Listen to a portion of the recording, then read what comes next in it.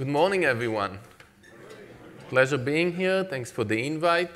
So I want to talk today about behavioral economics. How many of you have heard kind of those buzzwords, behavioral economics, nudging, Thaler, Nobel, things, okay?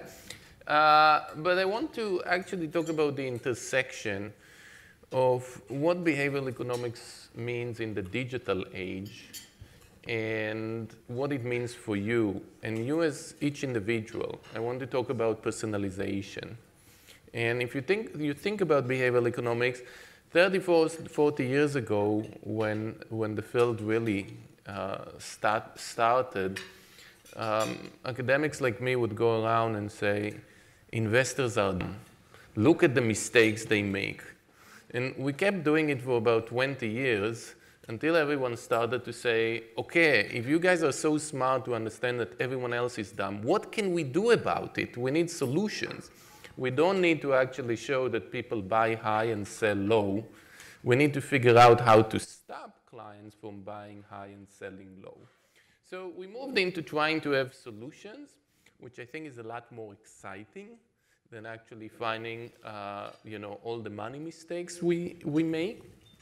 And a lot of the solutions, I think, will depend on the kind of technology we have and on personalization because people are very different. And if there was one thing I would have you take away today, it would be how different each client is. And if you're a family and you're married, you could probably relate to how different you could be from your spouse and how we could put all of this into a more personalized financial uh, plan that would really cater to what you need.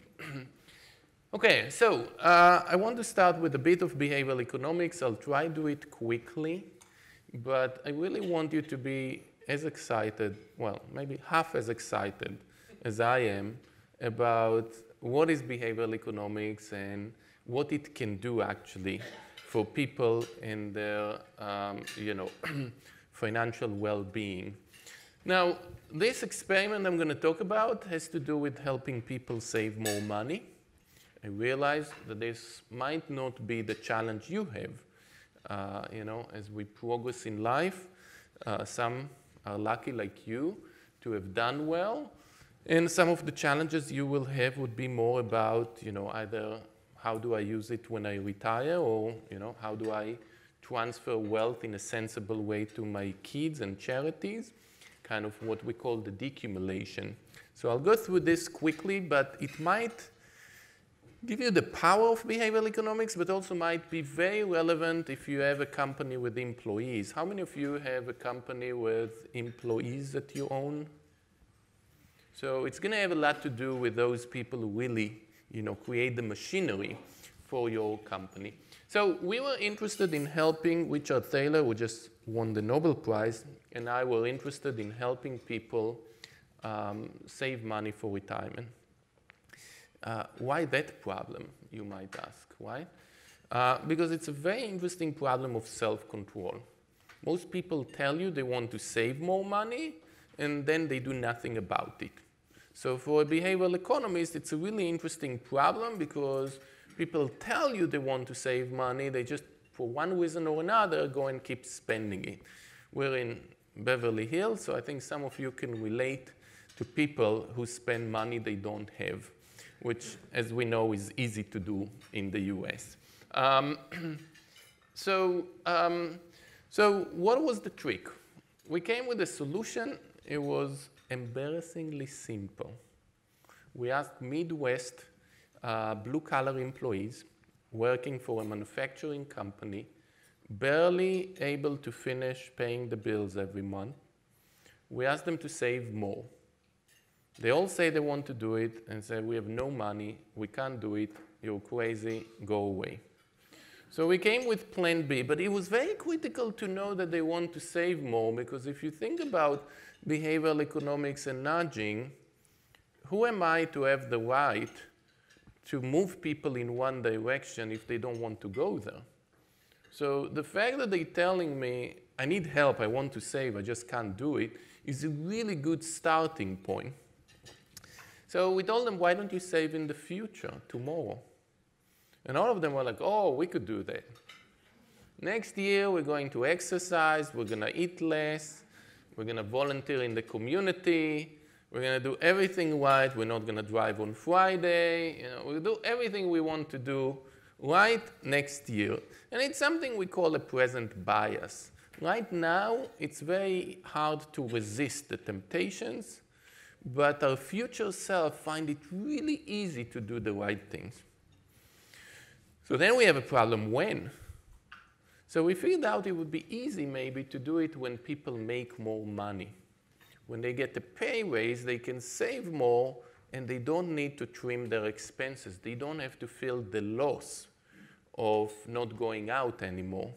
They have more money, they can take some of the pay raise and save it for their future. So that's a great plan, but nobody would ever implement it. Everyone would forget to do it when they get a pay raise. So we put it on an autopilot. As soon as someone said, I like it, every time they make more money, they save more money.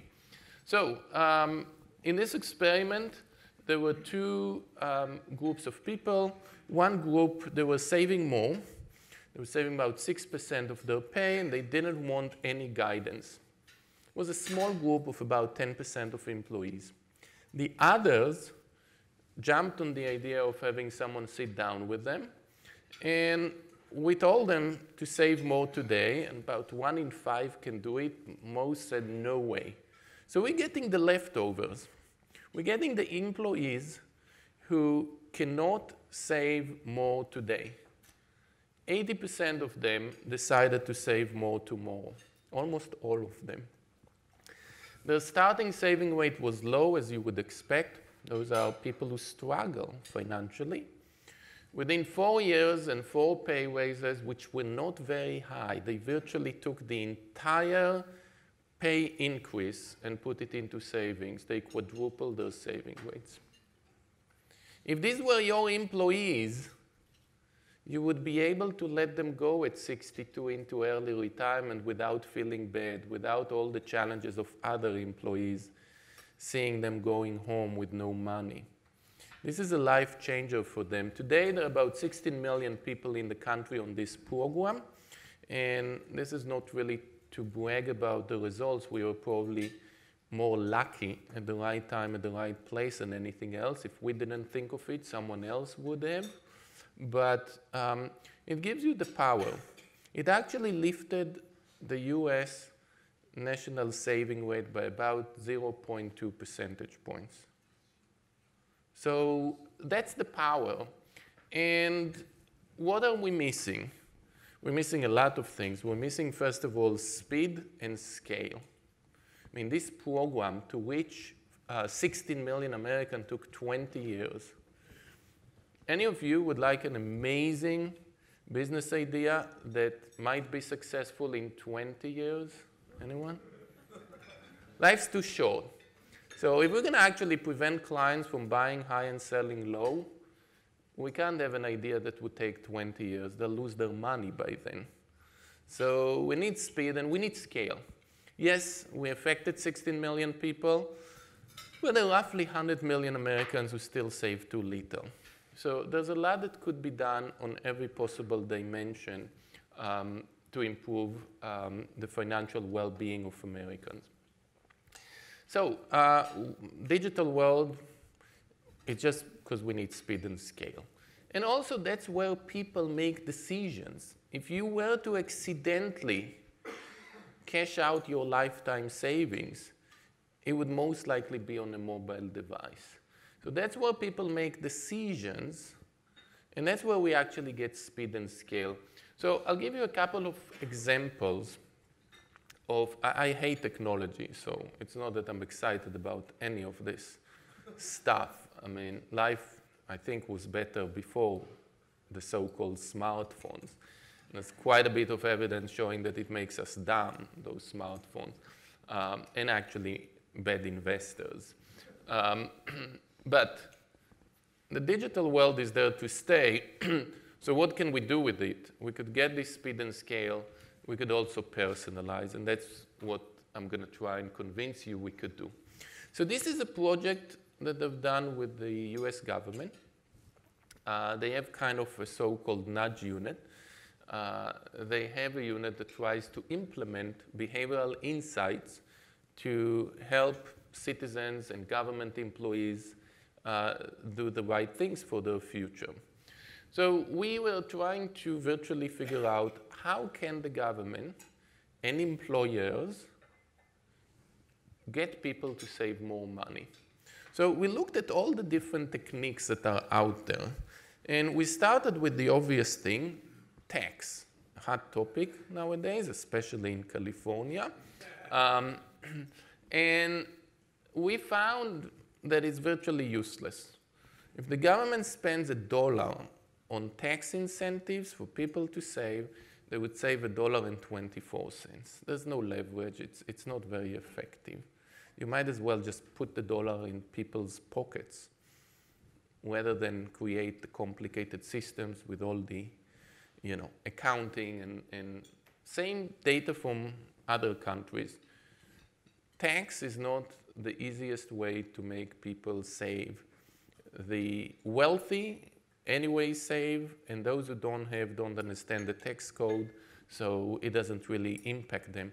You can have something that you don't even understand or aware of really affect your behavior. Um, some of you in your own companies, you might have matching contributions. Uh, the most optimistic view, the conflicting opinions, is that for every dollar you put in matching contributions, employees save another $5. More effective but expensive.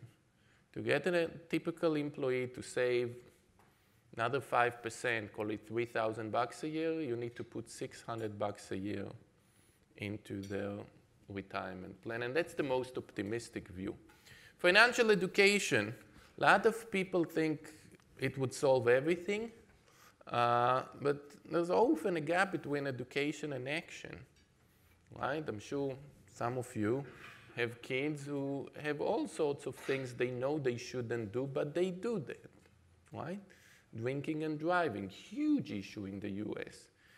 Um, are those kids thinking that it's a good thing? They don't know that it's dangerous? They haven't been educated? No, there's a big gap between education and behavior. And financial education is not very effective. Most people, academics, would argue it has no impact. People who go and take two years of classes at high school about money management, they forget everything three months after the classes are over. Um, so it's not going to get you the levels you need. We took 1 million people serving the country, soldiers and other people working for the Department of Defense. Uh, they don't save much. Uh, money is a big issue for that population. We sent them a simple email that had basic behavioral insights, how little amounts accumulate quickly over time, especially if you earn some interest or return on it and then where to take action. So the gap between good intentions and actions would be minimized. And we calculated all the cost of you know, designing the emails, having someone administer it. We got $1,600 of additional savings. And there was primitive technology, emails. Half of it probably ended up in the spam. Half of it they just probably just clicked, you know, ignore. Um, there was not grabbing their attention with text messages, with anything that is video and a lot more vivid and emotional. So the sky is the limit. With a bit of technology, a bit of behavioral insight, you could really move the needle. And you could expand it to other domains. I mean, there are a lot of efforts of companies to kind of figure out how to make people in California reduce their water and energy consumption and kind of experimenting with different, you know, tricks to do that and so on. Healthcare, huge issue. One of the biggest issues actually from a, uh, just a behavioral perspective that we don't have good solutions is uh, people taking their medications. Half of the important medications that people actually bother to fill the prescription, pay, get the medication, they don't take it or don't take it on time, including people who have critical conditions where the medications are known to solve the problem, they still don't do it. So there's a lot that could be done um, to help people, whether it's money, health, environment, other domains. Education is a huge one where uh, there's a lot of effort to kind of crack the code on online education.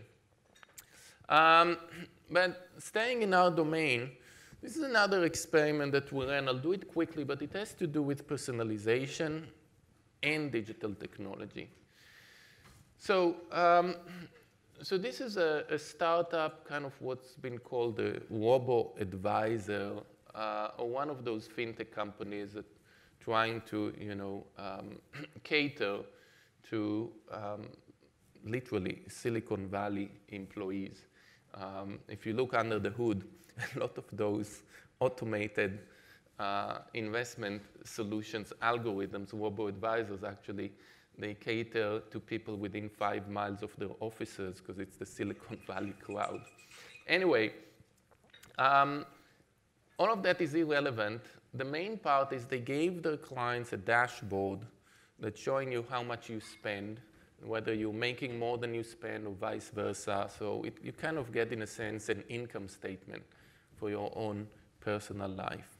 And people had that available on the web. they used to look for the information twice a month.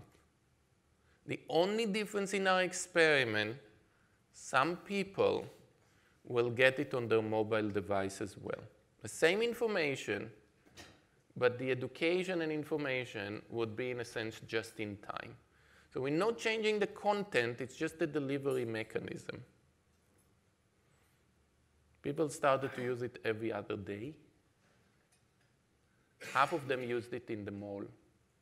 So if you match their locations, you could see that people using it in the mall. They cut their spending by 15 percentage points.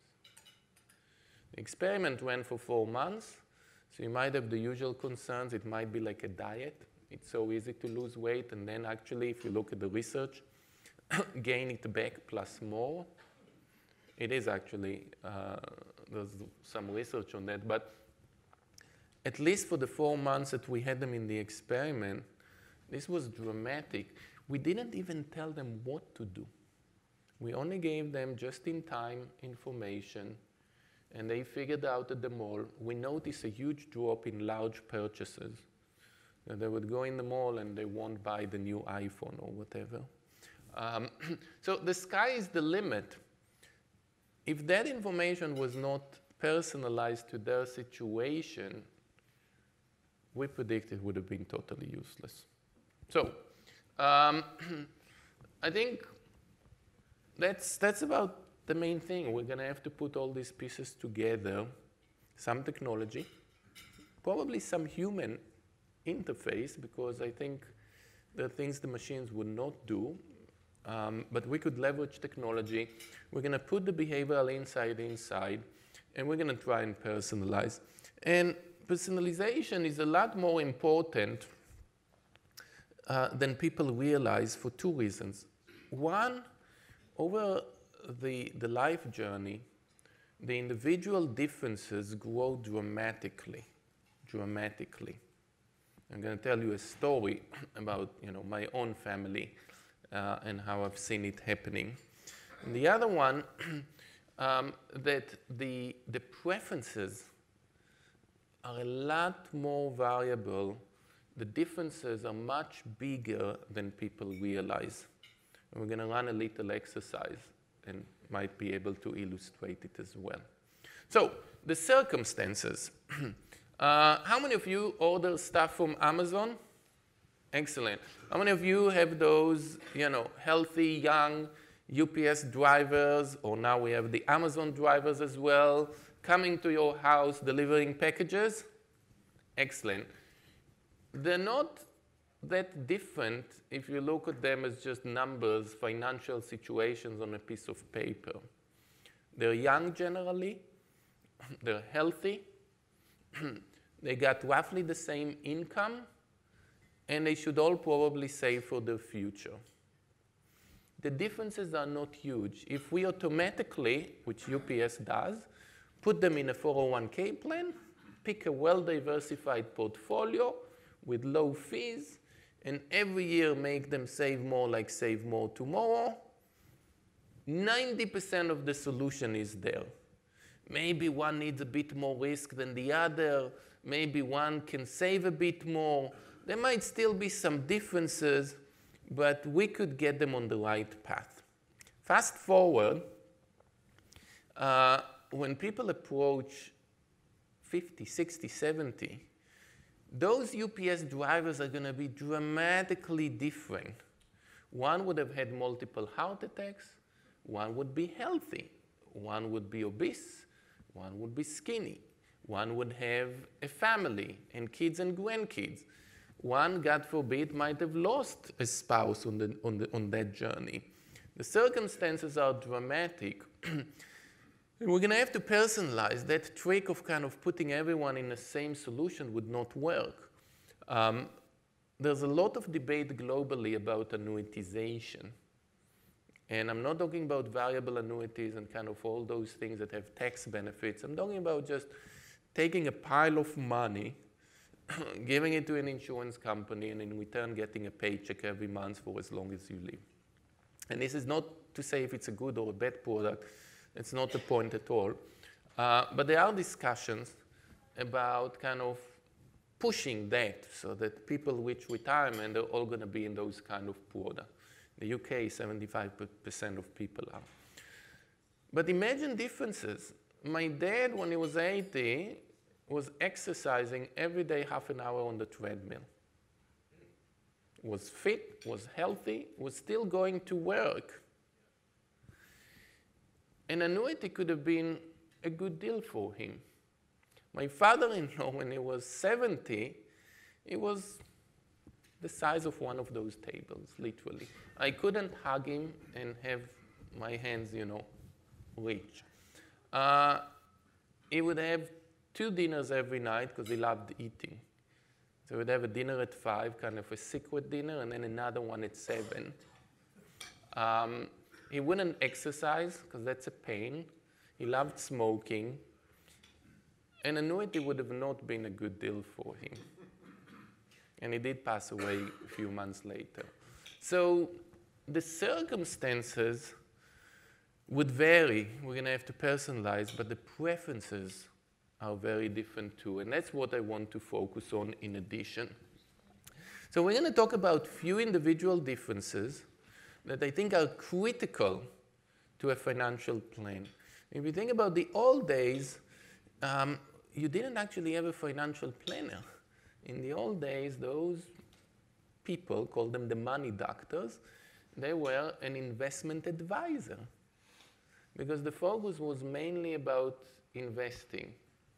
There wasn't kind of the bigger picture of how people are different. A good financial plan would have a huge focus on how much to leave to your kids. People have very strong opinion about it. Um, I can tell you a side story, behavioral bias actually in that space. When I ask people who are super wealthy, call it, you know, $100 million of assets, who have a kid, one kid, I ask them, how much would you want to leave to your kid? Anyone wants to pick the most common answer? Five. Five million is like the typical answer, the rest for charity. When I ask similar people who have two kids, how much they want to leave to each kid. Do you want to pick an answer? 50. It's like just divided between the two kids, 50 and 50. So if it's one kid, it's 5 million. If it's two kids, there's a very simple rule of thumb, which is divided equally. So it's 52 each. so, but that is not necessarily about the investing, but the financial plan should include thinking about those kind of things and many more. So um, I'm going to talk first of all about how we feel about what people might call risk, but I'll call it actually loss and loss aversion, not risk aversion, and I'm not going to call it a risk tolerance questionnaire because risk is a bit vague, and a lot of the ways we measure risk out there are very, very problematic because they sometimes look at variability for those who like you know, statistics, they look at standard deviations. Those measures assume that we hate negative surprises, but we also hate positive surprises, that we like everything to be predictable. Variability on the upside is as bad as variability on the downside. Well, most people treat gains and losses differently. Um, negative surprises are a lot more painful than positive surprises. Um, so we have to start thinking actually about losses and how people feel about losses. There's a very cute experiment that uh, Paul Samuelson, the Nobel laureate, offered more than 50 years ago to his MIT colleague at the time. So we're going to flip a bet, we're going to flip a coin. Either you win 200 or you lose 100. So I got enough cash from the ATM on the way here, and I will trust that you guys, if you don't have cash, that you will pay me. How many of you, how many of you are willing to come up and play this game for real money? Anyone? How many do not want to come up and play? So first of all, you notice that even with a very simple bet like this, people feel very differently. Some would want to play. I've once given this talk and I said, who would want to play? There were four people in the room running with the money to be the first because they, they, they would love to play this bet, and some would hate it. So people are different, and we'll get into more about that. Now, if you think about it as an investment, it's a spectacular one. You're going to put $100 at risk. Either you lose it, or you're going to get back your money plus 200 if you win. So if you do kind of an equivalent of a rate of return, you're going to make 50% return in two seconds. Uh, the interesting thing is it also doesn't have much risk. I bet all of you can afford to lose 100 bucks and still buy nice gifts for the grandkids. so, so we've taken now a bet that has 50% return and very little risk and some people hate it, some people love it. So this all would be about how you feel about losses. That's all that this thing is going to be about. Now, how many of you have heard about kind of this idea, loss aversion, Kahneman and Tversky? Anyone? So they've done a lot of work on it. Anyone knows, uh, kind of, if you think about the pain of a loss versus, versus the pleasure of a gain, is there a number? Can we quantify how sensitive we are to losses relative to gains? Are we two times more sensitive to losses, 10 times, just 10% more sensitive? Anyone? Two times. Two times. So two times is the, the rule of thumb. If you look at the research, half the people would be 2.25 um, um, well, the median, but just call it the average for a second, uh, little statistical shortcuts that I shouldn't do. Um, but let's call it on average 2.25 is the sensitivity to losses versus gains. So about two times. Now, how many of you think that that would be your sensitivity to losses? That you would be two times more sensitive? Anyone? How many of you think you're going to be a lot more sensitive? Maybe you're five times more sensitive. How many of you think that you're not that sensitive to losses? So you see a lot of opinions. How many of you have no idea? so we can actually measure it.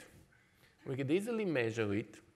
Um, we've built a tool for WisdomTree Uh, and I've done this with John Payne at Duke University, who, um, who spent literally 40, 45 years studying these kind of uh, decisions.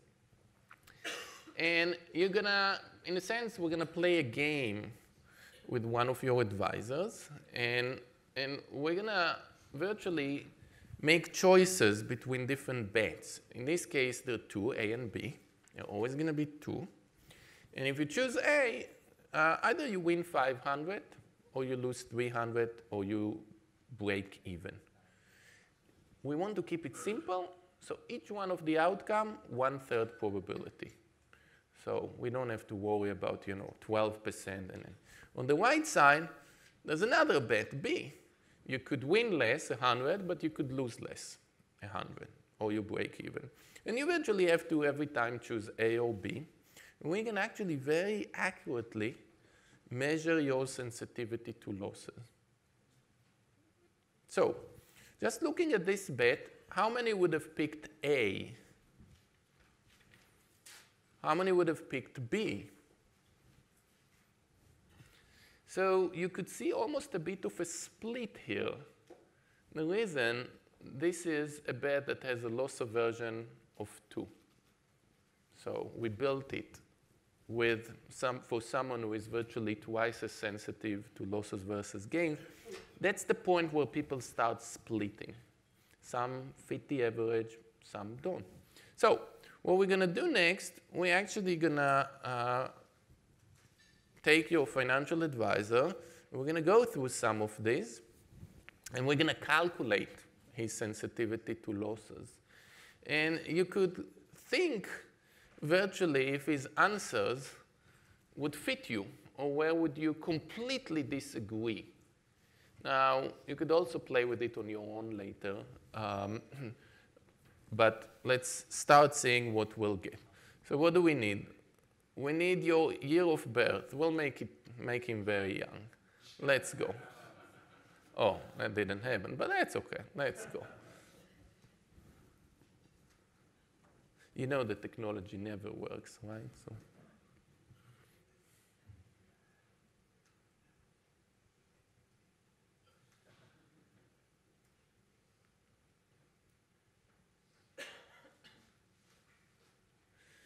We have plan B, just in case, because we know technology never works.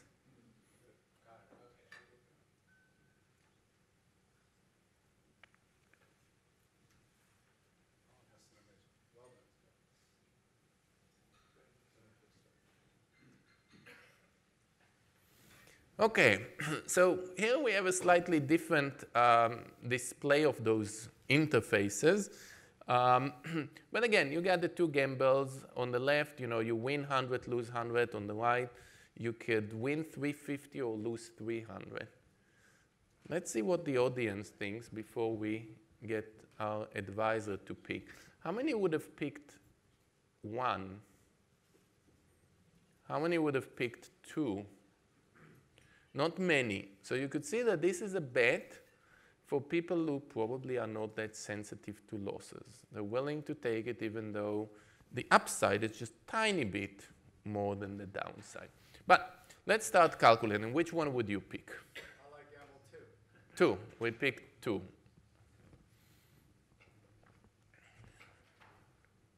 This one I think we've gone through. Which one would you pick? Gamble two. Two. We're going to do this quickly so we get to the, uh, to the results. I might uh, stop at the ones that are kind of more interesting. Um, okay, let's keep, uh, let's keep going. Um, what are we doing now? Gamble one. One. Gamble two. Now, he doesn't know that we're measuring if he's consistent too. It's really important. Let's slow down here. Let's slow down here. So Gamble 1 now has 1100 as the up upside, 300 as the downside. And 2 is the usual plus 100, minus 100. How many would go for 1? How many would go for 2? Nobody. There are people who actually go for two. How many of you think they're nuts? You would ne- so, so you feel strongly one should be what everyone picks, and some people are like, I'm not willing to take that risk actually. So people are very different. Let's keep going. I'm guessing he's taking one.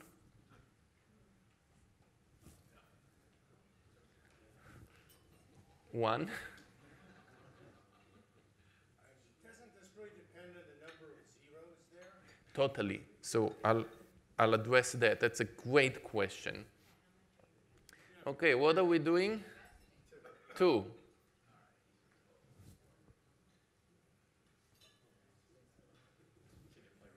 One. Okay, let's see the results and then let's talk about adding zeros, making it a million or two rather than $100. so, um, he experienced gains stronger than losses. He's not averse to losses. Those people exist. Those people exist. Let me tell you a secret. About a third of the people are not that sensitive to losses.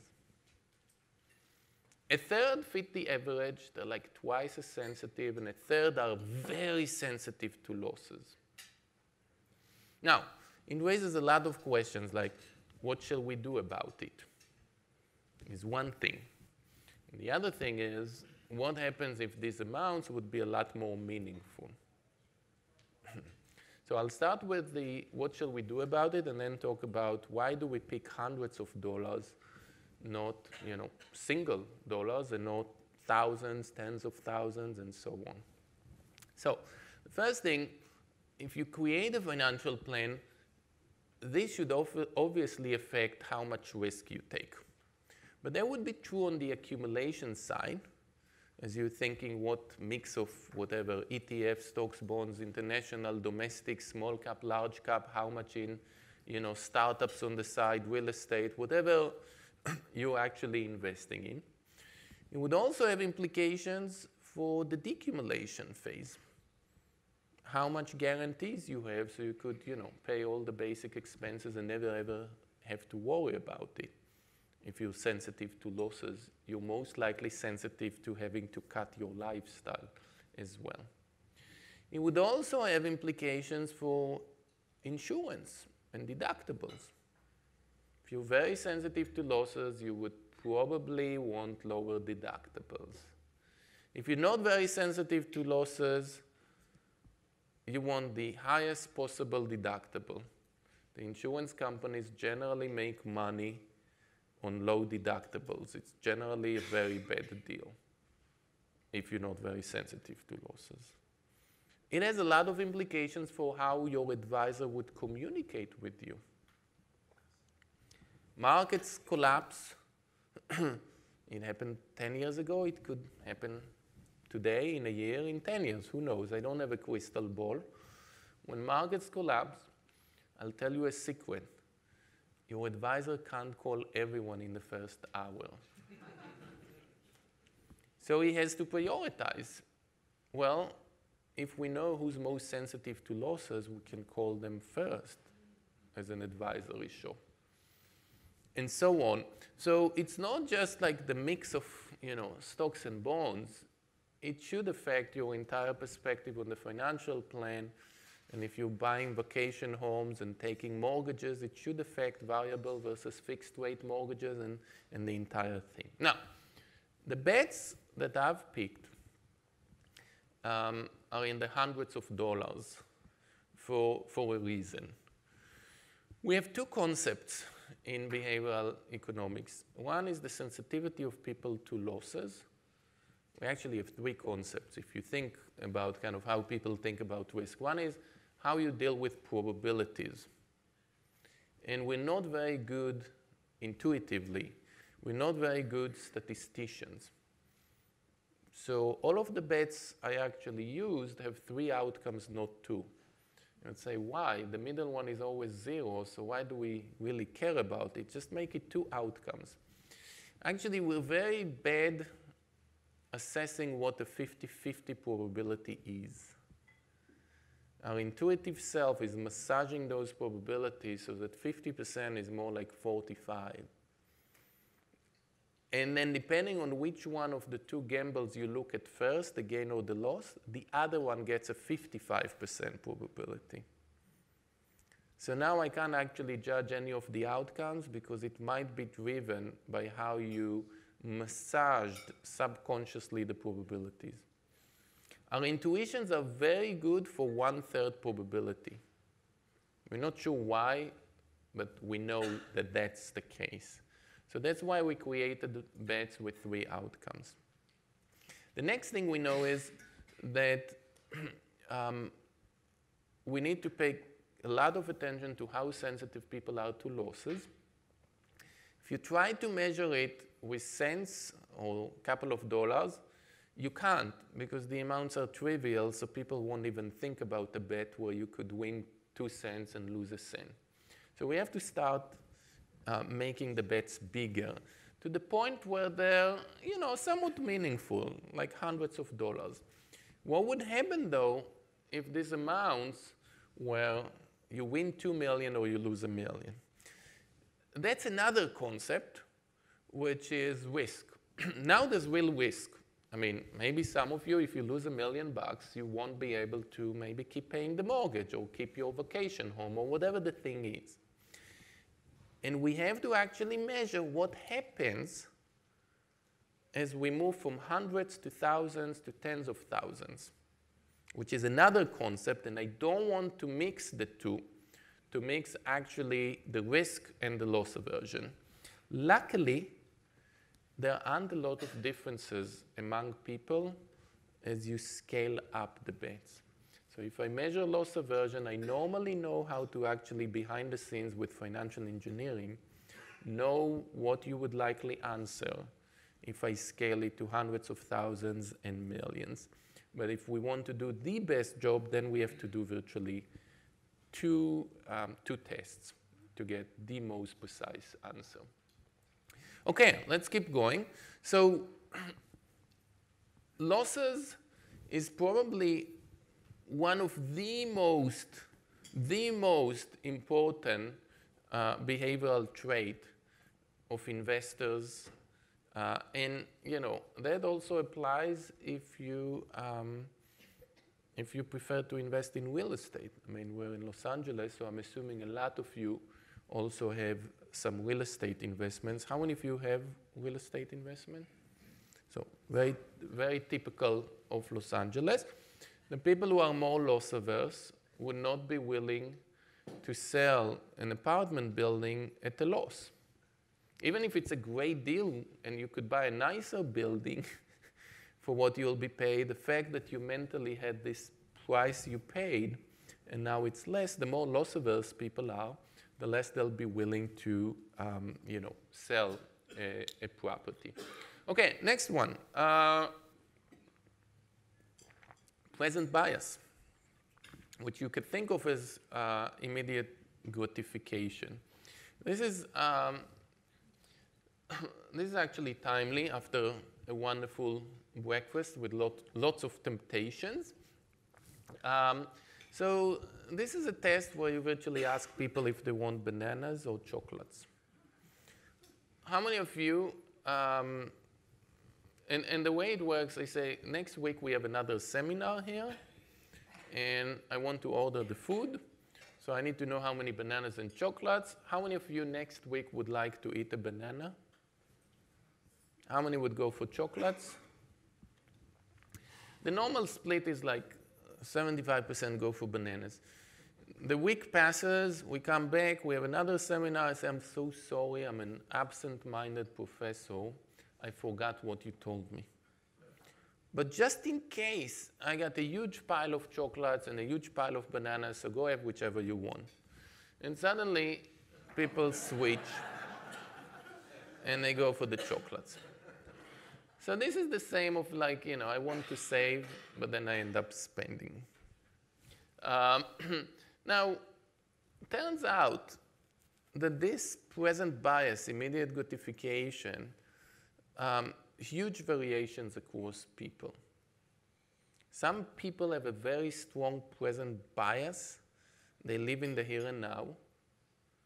A lot of people are more balanced, and some people actually have the other problem. They have a future bias. They always think about the future, they never live in the here and now. And those would have implications for a lot of financial decisions. This is a little tool we built based on research with people who retired. Um, I'll skip the questions because it's not the important thing, but this is a typical test that would assess if I do enough of these questions, I can assess if you have a present bias. The trait of people with a present bias, if I give you a question where you could have $1,000 right away or 1100 in 10 months, people with the present bias don't care about the future. They will take the here and now, they'll take the $1,000 today. You could actually increase it and give people like, you know, things that economically are crazy. It would be like a thousand today or $1,300 in 10 months. You're waiting 10 months, you're going to get 30% for sure. And people with the present bias would be like, no, I'll take a thousand today. Now, so far you might say, oh, maybe they don't have the money, maybe you know they have a high discount rate. It's actually a different thing. We know how to differentiate because what we would do next will shift everything 18 months into the future. So the here and now, the $1,000, you now have to wait 18 months. And the bigger amount, you have to wait 10 months on top of it. So the economic decision is still the same. It's like there's a sooner amount, and if you're willing to wait 10 months, you'll get another 10% or 30%. But none of the options now is right away. People become very patient suddenly. Those are the people with the present bias. If one of the options is now, if it's a chocolate, now they'll take it. They won't be able to think of doing the right things. They're impatient. But if both options are in the future, like, oh, I can wait. What's the big deal? 18 months, 28 months, I can easily wait. So why are we bothering to identify those people and go through those tests? Turned out that people with a present bias are a lot more likely to retire too early. I'm not talking about money. You might have done incredibly well financially, and you have an amazing practice with 500 lawyers, and you're thinking whether you want to go play golf and sell the practice, or whatever your situation is. So you might have plenty of money. It's not about not having the money in retirement, they're just not happy. The golf playing looks a lot more attractive than it would be to those kind of people after they've played for two weeks and they're kind of, you know, really tired of that new lifestyle. So with those insights, one could have a more meaningful discussion about, is it really time for me to retire or should I keep the business? Those people actually two years into retirement, they're still very unhappy. So imagine it, we can predict the full test is only six questions, two minutes. We can predict the people who would be unhappy in retirement, and it's not because they lack money. It's because they have a present bias. I'm to um, wrap this talk with, uh, with the chocolate test, which is probably my favorite. Um, so there's, there's research about what we call hedonomics, um, which is kind of, you know, it's not so much about how much money you have, it's about how you use it or how you distribute it over time. Um, so in one of the, the questions you could, um, you could have, it's about your academic uh, outcomes, and you have to choose between uh, being in the 80th percentile. Alternatively, you could start uh, low, you start at the 70th and you finish at the 85th. So your GPA would be lower in number two. It would be 77 percentile, and in number one, it would be higher. How many of you would rather pick one over two? How many would rather pick two over one? So a lot of people prefer actually uh, option um, two. uh, they like to see an improvement. Uh, so it's not just the overall GPA, it's also the, the path. But people are very different. They're not all the same. So this is a test that I came up with, and we'll talk about what it has to do with money. In the test I came up with, uh, one day I was in New York, and uh, the hotel I stay in is very clever. They always give you a little gift. The gifts don't cost them anything, but I obviously remember it. So they learned about all the research about persuasion and how little gifts go a long way. Um, and they gave me a box with four chocolate truffles. My daughter was five at the time, so I go back home, I give her the box, and I say, You could have one every night for the next four nights. Which one would you like tonight? And she said, I want the, the white chocolate. I said, But you hate white chocolate. She said, Yeah, I want to get it out of the way. and and I'll keep the dark one last. But the really interesting insight that she had for a five year old that really blew my mind was but I don't think all the kids would do it this way. So she realized that there are individual differences, that some would like to eat their favorite first, and some would like to keep their favorite last. And I mean, we're not very different. You could see, you know, it wouldn't be very different from people who kind of, you know, can't enjoy the dessert until they do the dishes from all the other courses first. Um, so some people like, you know, to have the best first and vice versa. So I started to play with those kind of questions. I'm going to spare you, in a sense, uh, going through all of this. But it's virtually whether you pick your favorite chocolate first because life could be too short, or whether you're the type that like life to get better and you keep the best last. What does this have to do actually um, with um, the decumulation phase? So you could imagine actually the exact same thing for how you would enjoy your money in retirement. So imagine three plans. One, every month you're going to have the same amount. So this is kind of whatever, a traditional annuity will take a lump sum and every month you'll have the same amount throughout retirement. The other one would be if you think that life could be short. If you're that type, then we create another plan for you. We'll start with slightly higher income now, and as you get older, it's going to get smaller and smaller not necessarily dramatically. We could decide about the slope, but we'll have more now while you're younger, healthier, and less later. And the other plan is the life gets better plan.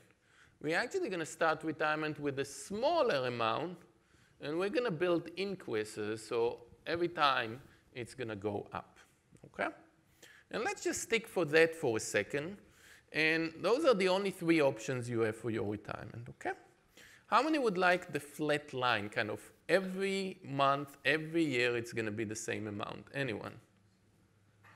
Yeah. Now, be aware, the plan that nobody likes is what insurance companies have been trying to sell unsuccessfully in the US for the last 50 years. Nobody likes this. Most of the Monte Carlo simulations, the fancy things behind the scenes, assume something like that. They might assume 70, 80% income replacement and maybe an adjustment for inflation, but put all of this aside. They're trying to put you on this boring path that behaviorally we know numb people, doesn't get anyone excited, of the same amount every month. How many of you think life is short, would like to start high, and then it could go down a bit over time? Anyone? Nobody. How many of you would like to start low and have it go up over time? So think about the differences here, okay? The common solution nobody likes, only a handful of people. And there are a lot of people who actually prefer life to get better. If I had a bigger audience, more diverse maybe, you actually do find a lot of people who are also on the other side, prefer to start high and go lower. But we need to start including that in our plans. We can't just assume like the old days, a flat line. Now, the technology is there, both the financial engineering and figuring out your preferences. that was not true in 1933 when the social security system was established. It was a miracle that they were able, with you know, paper documents, to actually give a plan that everyone gets a similar formula and it's always flat. That was a big thing to administer, but we could do a lot better nowadays.